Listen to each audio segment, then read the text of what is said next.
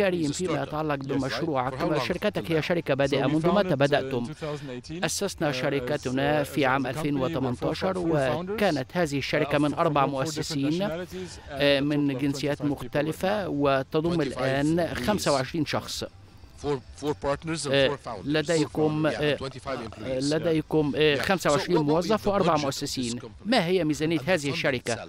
وماذا عن التمويل نفسه؟ يبدو أنه تمويلا ضخما. لا هذا الأمر التمويل قمنا بتأسيسه. وأيضا قمنا بجمع كمية من المال وقمنا بعمل استثمار في التكنولوجيا.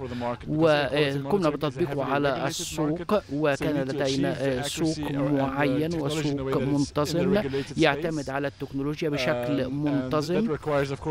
وأيضا قمنا بالاستثمار في التكنولوجيا.